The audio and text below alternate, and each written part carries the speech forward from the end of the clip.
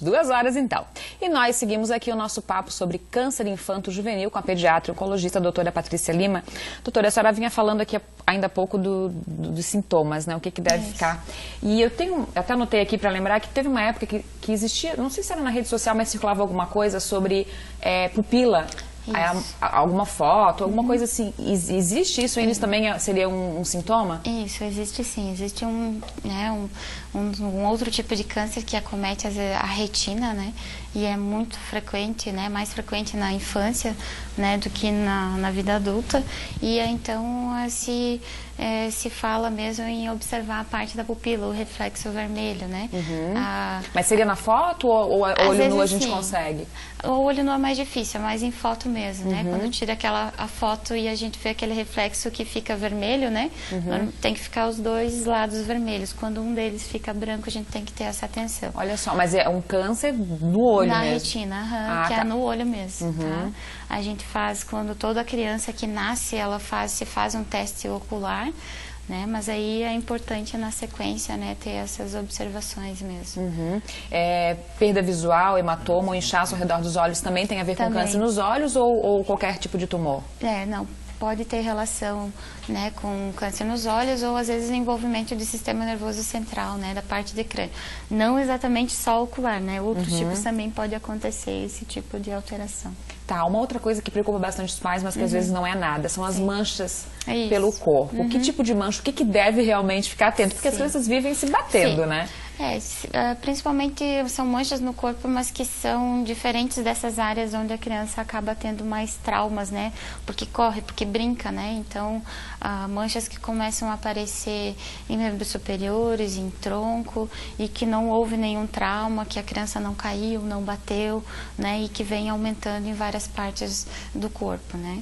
Tá, e aí quando o pai, né, os pais uhum. detectam uhum. isso aí, e aí vai, vai para pediatra, vai principalmente, pediatra, né? Principalmente. Quanto tempo demora para confirmar, doutora? É rápido ou demora, dependendo é, dos casos? É, dependendo, alguns casos são mais rápidos, outros dependendo da situação né? Porque às vezes depende também do procedimento cirúrgico, né? Mas a grande maioria é, são diagnósticos bem rápidos, né? Hoje uh, a leucemia a gente faz diagnóstico em dois dias no máximo.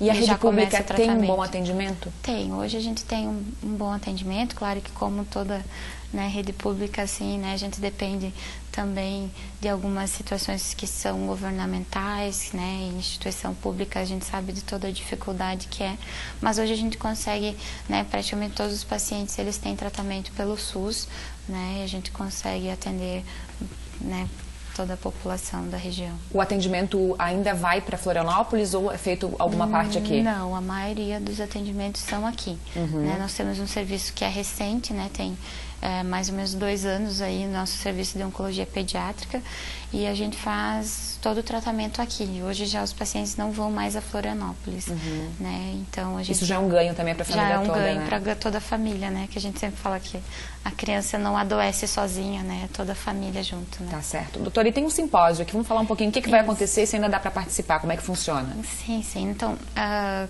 a gente vem trabalhando, né, com, nós somos uma equipe multidisciplinar, então são vários profissionais envolvidos para atender essas crianças.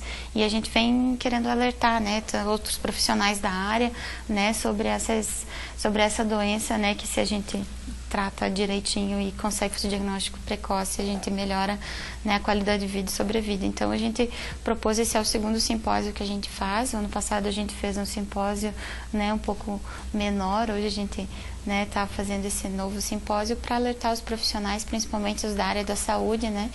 E sobre essas doenças. Então, o nosso simpósio vai ser no dia 20, né, quinta-feira, né, o dia todo, né? Vamos contar com palestras tanto da área médica quanto das outras áreas da, da saúde, com psicólogo, nutricionista, é, fisioterapeuta, até a gente vai ter até a parte de regulação do próprio os encaminhamentos, como devem ser uhum. proceder os encaminhamentos para para a gente, né, que o paciente chegue até nós. Para evoluir no assunto. É então, quinta-feira, uh, tem mais informações, inscrições aí, então no isso. site, do, é, o W está na tela, né, www.hro.org.br,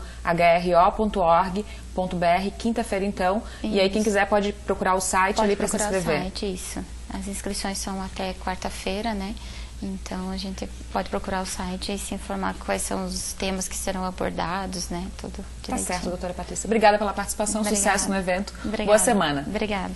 Gente, o Ver Mais termina por aqui. A gente continua essa semana, como você está vendo aqui, com a nossa decoração da Catarina Móveis Rústicos, né? Que nós vamos ficar aí durante essa semana até o Dia do Gaúcho, que é o dia 20. Obrigada pela participação de vocês. Uma boa tarde, uma excelente semana. Fique grudadinho com a gente todos os dias até sexta. Beijão, até amanhã.